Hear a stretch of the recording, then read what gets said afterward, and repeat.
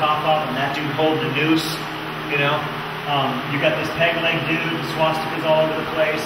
You got neat little things. All these are members of the club. And um, Dave Mann, I don't know if he was a member or hung out with these dudes or what. If you look real close on the lapel of that jacket, that's where Dave Mann signed his painting. It was as if it were part. He was a character. That's Dave Mann right there. He did a self-portrait and put his name on the jacket, even though he signed it Ed Roth. So it's really interesting to me because Ed Roth was really a gatherer of artisans, and he was kind of the, the papa in a little family, and he would put his stuff out. But uh, he, he came out with that Chopper magazine, man. That's Ed Roth. That's Chopper. I don't think he did a car magazine, you know. These are neat. These were I pulled these out of his desk while he was still alive. And these were all, what he would do is his next catalog would come out. So he'd take a last year's catalog and go through it and go, okay, that one's not a seller, that one's not selling, that's not selling. And then he would take the same format, literally, you can even see it, he would take paste, glue the new one on there and photocopy it. It was ghetto, but it worked, you know what I mean? So this was this is kind of uh, this is a the next year's catalog edition is I was edited. When, when he went through one of his divorces, the brokers just said, "Hey, just whatever you need to do, move. Don't worry about it. Your desk stays just the same." I'm gonna pull these dress these desks open. It was a time warp. It was like Roth had just left that desk, and I would look at this stuff. What is this? Ah, he must have been you know editing a next catalog, and oh, I want to buy that. Jeff, why? To me, it's history. Here, I got a complete manual. I don't want the complete one. I want the one that's been marked up. And you know, it's he touched this. It's it's history evolving right here. You know. What? Uh, this is um, 1952. Vincent Black Lightning. He's got the two front heads, all uh, lightning uh, cams and gearing and everything else. And these were they were, you know, dual GP carburetors and stuff, and really weren't made for street use. A uh, 49 WR. Just you know, it's got the Flanders risers, and just set up that it, like it would have been raced in the early 50s, late 40s. Um, they're not terribly rare, but they're they're pretty neat.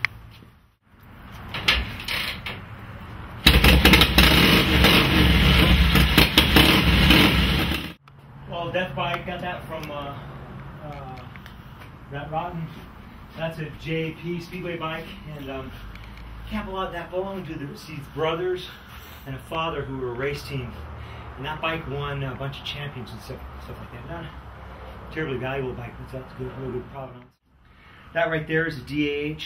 Um, that those two bikes right there, the black one and the green, are uh, Harley Davidson's racing history at its finest. They were probably six of those each known, and um, they were made for they were purpose-built racers. There's nothing on them that translates to anything that was sold to the public. There's there's no making either of these bikes street legal. Everything about them is made absolutely for racing. And so you've got this uh, overhead valve 750 um, DAH hill climber, beautiful gas tank. You know that never translated to anything that was remotely close to what the public could buy, that top end and motor, or like anything that uh, they offered to the public. And then just to find one in nice original paint. I think there's uh, there's one other one. There's one or two bikes as nice as this one out there. Dale Walksler's got one, and, uh, and uh, Jim Latin has another one. And then that CAC right next to you, that little speedway bike. That too, even though it looks a lot like a JAP, that's kind of what they copied. Um, extremely rare and uh, uh, that bike was in Japan for a really long time.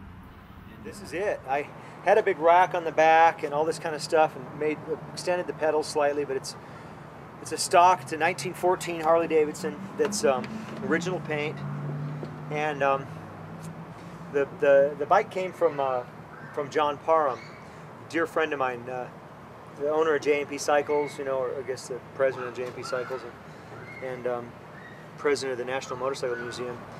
And uh, this bike took a lot more massaging than I thought. I had Lonnie Sr. help me out. Um, then finally, just went back to my roots and had my old man go over it. And he went from the front to the back, working for weeks, dialing is the greatest shade tree mechanic in the years. And it's, you know, I, I like everybody realize that their father's flawed, but um, he really is a hero. This guy, my dad is neat, and um, he he came up and just um, really went through this bike and got the timing set, uh, got the carburetor worked through, uh, got the magneto charged and set, um, got it. I, I, mean, everything about it. I wouldn't be in this run right now if my old man didn't just spend weeks. Of course, it's 3,200 miles, and I'll be lucky if I go 320. But it's the effort that counts. I mean, I did the trophy for the deal, and my um, my philosophy on this subject is if we're supposed to be paying homage to 100-year-old motorcycles and riding them in country like like Cannonball Baker or something, I, I, wanted to pick a first-generation Harley Davidson, and so I went with the bike with, with still a crank without a transmission. A lot of the guys go for 15s because they're cheater bikes. They're they're of a second generation, but they fit right within that clause of pre-16. So, quite frankly, it's the smartest decision. But to me, if you're going to do this fool thing, do it right and go with the first damn year that, that, that should have done it. And then the other thing too is I've seen dudes with brand new tires, with new rims. They've they've they're cheaters, and those guys will probably finish the race. But I'd rather lose the race honestly than win it half-assed. And so this thing is just the way it is. The tires are, will wear out. Um, the thing will break down. And hopefully on the side of the road I can fix it with friends in the evening. I can dial it back and get it back on the road. And um, Hell, anybody can grab a Gold Wing or a new Road King, and I know for a fact tomorrow we could go to a Harley Davidson dealership and rent a Road King and go 3,200 miles. There's just nothing to prove. You know, your dentist on a weekend can go to Sturgis with a rented motorcycle. Going distances on a modern motorcycle is irrelevant. But can you do 3,200 miles on a shit box like this? So why cheat it? I'd rather go three days into it and die a man than to cheat it with some modern technology and make it the whole way. Uh, you know, I, would rather lose attempting it honestly than than than win.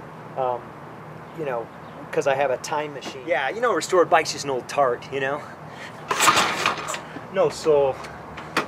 You've seen those old ladies that grave, you know, they, they just, you know, some, how many seven year old broads have you seen? They're just classy old ladies, you know? And then you see some dolled up tart that's just ruined and,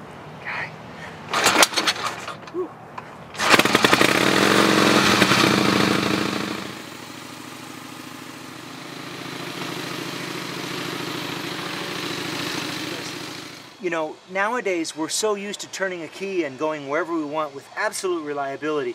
And when we don't have it, we use our cell phone and through the GPS system, the AAA dude shows up and we're inconvenienced for an hour and then they hand us the keys to our new rental vehicle. Life is so convenient.